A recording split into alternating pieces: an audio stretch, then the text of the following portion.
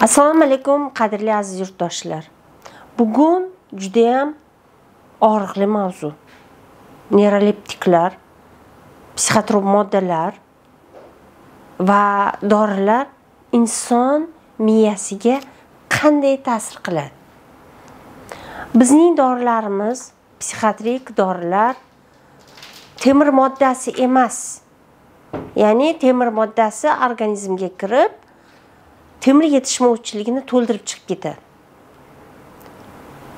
Bizning psixotrop dorilarimiz vitaminlar emas. Xuddi e, bir ko'kat o'sayotganda uni oziqlantirish uchun e, qanday ozuqalar berasiz? Bizning dorilar unaqa dorilar emas. Ya'ni oziqlantiruvchi vitamin yoki temir moddasini ko'paytirib yoki kalsiy moddasini magniy moddasini ko'paytirib chiqib ketadigan moddalar emas. Psixotrop moddalar hukmdor dorilar hisoblanadi. Ya'ni sizning dunyoga o'zingizga hukmingiz o'tmaganida u dorilar sizga o'z hukmini taqdim qiladi. Manga qarar o'sha. Men seni boshqaraman. Men doriman deydi. Menga qara gulnora. Sen o'ylamay qo'yaver man seni uxlatib qo'yaman. Man seni tinchitib qo'yaman deydigan moddalarni oti psixotrop moddalar bularni ichida antidepressantlar neyroleptiklar e, bor. Mening qo'limda e, mana bunday bir jihoz moslama tayyorlab qo'ydim. Bizning nervlarimiz mana shunaqa e, bir iplardan iborat bo'lib uning ichi ichida mana tashqi tarafidan mana bunday qobiq bilan qobiqlangan. Mana mana qobiq paydo bo'ldi va qobiqni ichida mana ko'rdinglar yo'llar bor. Va mana shu nerv yo'llarini ichida nerv yo'llarini ichida moddalar yuradi. Bu yuradigan moddalarni oti mediatorlar deb ataymiz. Hozir shu modda yurishini mana shu suv va mana shu jihoz ko'rinishida tushuntirib beraman. Mana bir modda nervni ichiga quyildi. Quyildi. Mana ko'rib turibsizlar u nima qilyapti? Yurib ketyapti. Dori kelib mana shu moddani tezligini mana shu yerdagi reaksiyalarni kamaytiradi. Ya'ni mediatorlar axborot tashuvchi moddalar hisoblanadi. Axborot tashuvchi moddalarni sintezini ularni o'sha nerv yo'llarida sinapslarga bir biriga e, передача informatsiya deymiz ma'lumotlarni berilishini susaytiruvchi moddalar bor va o'sha narsani kuchaytiruvchi moddalar bor. Va o'sha e, axborot tashuvchi mediatorlarni qaysidir ishlamayotgan bo'lsa o'shani ichki e, tarkibiga tarkibini paydo qilib e, uni sintezini jonlantiruvchi moddalar bor. Mana bugun biz e, psixiatrik e, dorilar haqida informatsiya ma'lumot yig'ib aytmoqchimizki mana dunyoda bir yuz yigirma milliondan ortiq ya'ni o'zbekiston bir o'ttiz yetti million aholi bo'lsa ikkita uchta o'zbekistonchalik davlat dunyoda depressiyaga uchragan. O'ttiz yetti milliondan oshiq insonda alsgeymer ya'ni e, qarilikdagi xotira buzilishlari yoki e, alsgeymer qarilik bilan bog'liq e, ruhiy buzilishlar kasalliklari. Ellik milliondan ortiq epilepsiya va yigirma to'rt milliondan ortiq shizofreniya bor. Ya'ni ruhiy sog'lomlik jamiyatimizni ehtiyojiga aylandi. Insonlar tushundiki Э, jigari sog'lom bo'lishi e, oshqozoni sog'lom bo'lishi e, yuragi sog'lom bo'lishi o'z yo'liga. Ammo ruhiy sog'lomlik bu e, kayfiyatni yaxshiligi yaxshi uxlay olish yaxshi kayfiyatda yurish intilish borligi qiziqish borligi ham katta bir baxt ekanligini insonlarimiz tushunib yetayotganidan xursandman. Demak markaziy nerv sistemaga ta'sir qiluvchi boyagi aytganimdek uni susaytiruvchi ta'sirni susaytiruvchi dorilar bor.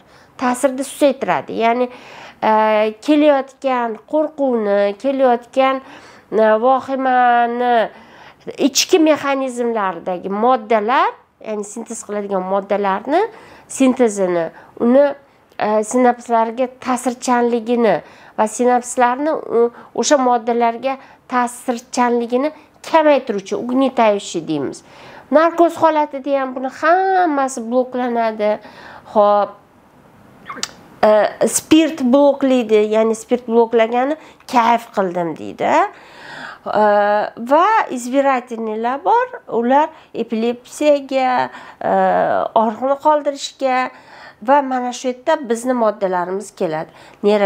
Neyroleptiklar tranquilizatorlar e, sedativ ya'ni e, gipnotik e, uyqu vositalariga bo'linadi. Ho'p stimullashi mumkin. Bizni o'sha psixiatrik dorilar stimullovchi ta'sir qilishi mumkin. Analeptiklar va psixostimulyatorlar nootrop vositalar hamda antidepressantlarga ajratishimiz mumkin. Anti antipsixotiklar haqida bugun ko'proq gapiramiz. Antipsixotiklarni boshqacha nom bilan neyroleptiklar ham deb ataladi. Neyroleptiklar antiksilotiklar hamda sedativ moddalar antidepressantlarga mana e, bo'ldik va bugun biz asosan neyroleptiklar haqida ya'ni e, insondagi e, qo'zg'alish mexanizmini qo'zg'alish mexanizmini bostiruvchi bostiruvchi moddalar haqida gaplashamiz. Bunda ko'proq e, shizofreniya va shizofreniyaga bog'liq e, o'xshash kasalliklarda. Har doim ham shizofreniyada emas ba'zan biz nevrozni og'ir turlarida ham bersak bo'ladi. Ya'ni qo'rqmanglar qo'rqmayapsizlar tushundim tushuntira oldimki mana shu nerv yo'llaridagi e, ma'lumotlar eqa beqa yurar ekan neyroleptiklar uni tezligini tezlashtirar ekan. Xuddi haligi tez E, raqsga tushayotgan odam endi qo'llarini mana bunday qilib sekin raqsga tushayotgandek gap bu.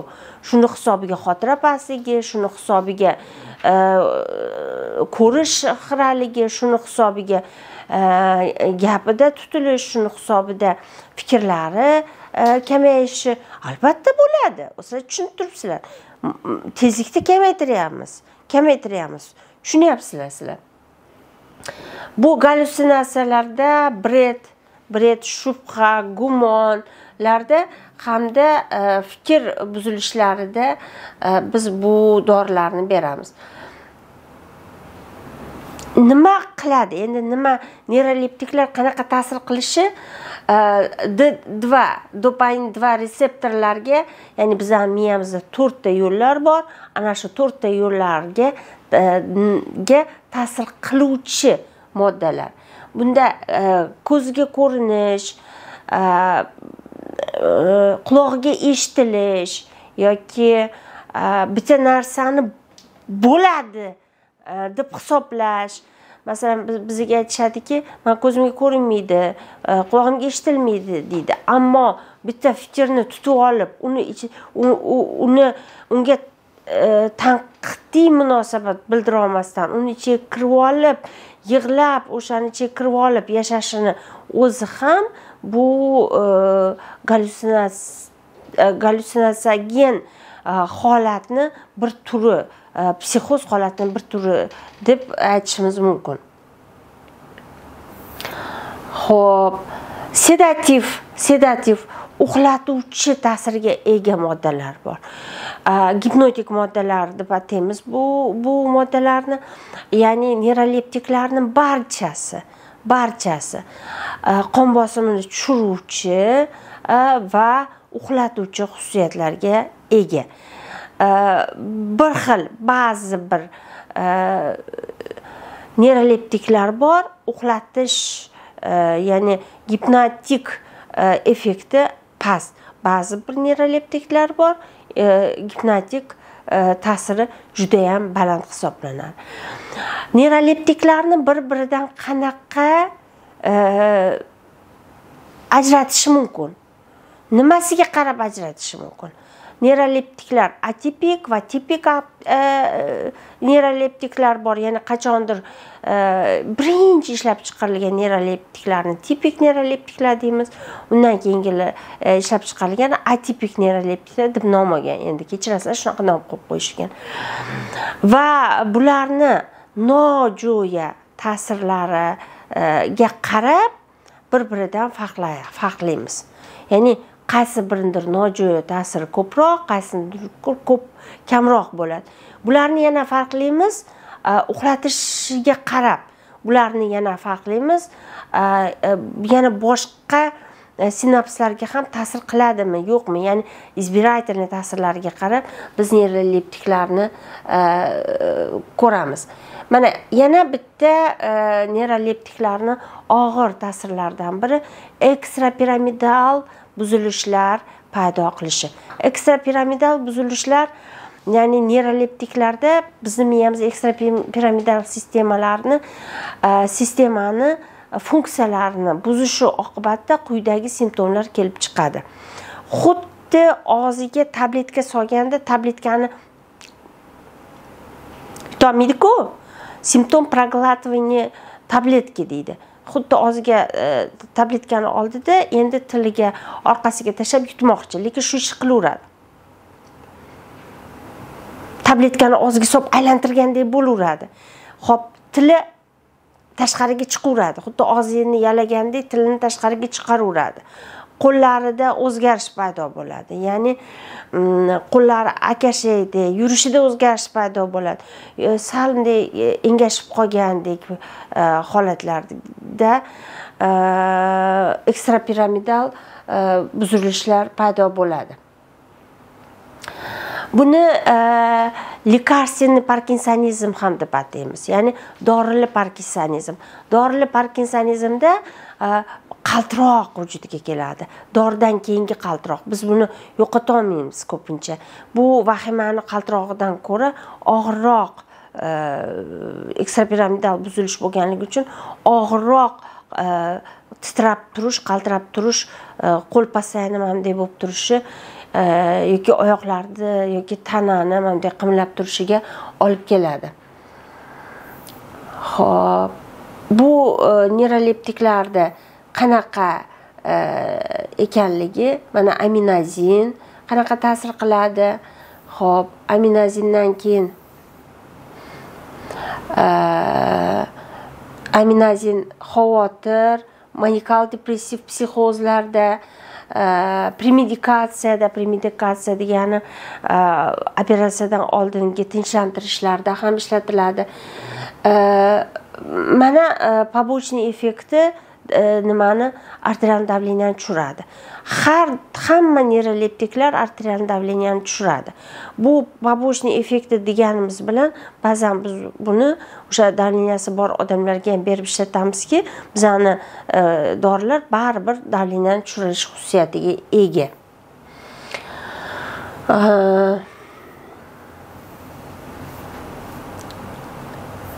Neyroleptiklarni o'zi insonni holsiz qilib qo'yadi. Chunki muskulni tonusini pasaytirib yuborgandan keyin insonda umumiy karaxtlik yoki umumiy holsizlik holati paydo bo'ladi. E, yana bu yerda triftazin e, dorisini ko'rib chiqyapmiz e, galoperidol dorisini droperidol dorisini ko'rib chiqyapmiz ho'p xlorprotoksinni ko'rib chiqyapmiz ekstrapiramidal buzilishlarga keldik mana ekstrapiramidal buzilishlar ekstrapiramidal buzilishlar bo'lmasligi uchun biz har doim korrektor bilan qo'shib birga beramiz korrektorlar bu neyroleptiklarning nojo'ya ta'sirini oldini oluvchi moddalarni korrektorlar deb ataymiz bu siklodol bo'lishi mumkin va qator yana boshqa korrektorlarni aytib o'tishimiz kerak. Bu e, mavzudan sizlarga qanaqa foyda bor? Nima uchun bu e, gaplarni eshityapsizlar? Nimaga neyroleptiklar haqida man gapirib berdim? Neyroleptiklar siz, siz o'zingizga hukmingiz o'tmaganda u hukmini o'tkazadigan dorilar e, neyroleptiklar deyiladi. Ya'ni sizni miyangizdagi o'sha bo'layotgan modda almashinuvni pastga tushirib beradi sekinlashtirib beradi. Va sekinlashish oqibatida boshqa mexanizmlar ham sekinlashadi. Ya'ni jinsiy hayot sekinlashishi xotira pastlashishi muskullarni ishi pastlashishi xohish istak zavq Э, hissiyotlarini pastlashishi kayfiyat pastlashishi nima deydi mm, befarq bo'lib qolish kabi holatlarni hamda ko'p uxlash va uyqudan ham zavq ololmaslik uyqudan ham e, maza qilib turmaslik holatlariga olib kelishi mumkin. Albatta psixiatr yozgan dorilarni vaqtida o'z vaqtida Э, shifokorni ko'rsatmasi bilan ichish kerak. Betartib ichish mumkin emas. Hamda э, shifokor yozgan har bitta dorini tushunib olishingiz kerak. Mana bugun tushuncha berdim. Demak neyroleptiklar э, o'sha nerv sistemasini ichidagi axborot almashinuvini sekinlashtirib berar ekan. Tuzalib bo'lganingizdan keyin yana joyiga tushadimi? Endi uzoq ichgan odamlarda doriga tolerantlikni ya'ni kamayib ketishi dori dori ta'sir qilmay qo'yishi o'zbekchasiga aytganda holatlari ham bo'ladi. Shuncha ma'lumotdan kelib chiqilgan xulosa shuki hurmatli o'rtoqlar siz kasallikni boshlangan ilk kunlaridan to'g'ri davolanishingizni o'zingizni Э, dorini hukmiga emas o'zingizni boshqarish hukmiga э, topshirib o'zingizni qo'lga olish mexanizmlaringizni э, joyiga qo'yishingizni talab qiladigan kasalliklar nevrozlar bu. Nevrozlarda biz psixiatrlar psixoterapevtlar psixologlar ishlab berar ekanmiz qanchalik tez nevrozni davolashga kirishsangiz shunchalik dori depressiyasi doridan keyingi asoratlar dori parkinsonizmi bekorga qimirlashlar doridan keyingi asoratlar ko'paymaydi. Va uzoq yillar dorida yurishni ham asoratlari juda yam chuqur bo'ladiki sizning jinsiy hayotingiz sizning zavqlaringiz sizning hayotda e, qiziqish intilishlaringizni paydo qilish ham bizga qiyin bo'lib qoladi. Shuning uchun ilk kunlardan boshlab faqat e, doriga emas e, o'zingizni e, o'zingiz qo'llab quvvatlay olish uchun shuni o'rgatadigan mutaxassisga psixoterapevtga ham murojaat qilishingizni so'rab qolamiz. To'qson beshlik bir yuz oltmish olti yigirma olti oltmish ikki raqami. Bizni psixomet yigirma to'rt deb instagramda e, googleda qidirsangiz topib olasiz. E, doktor zeminson nuqta uz sahifamiz e, psixiatr nuqta uz sahifamiz hamda youtube kanalida instagram telegram kanallarida bizni kuzatishingiz va bizga murojaat qilishingiz mumkin. Yana bir marta ruhiy sog'lomlik sizning baxtingizdir. 95 166 26 62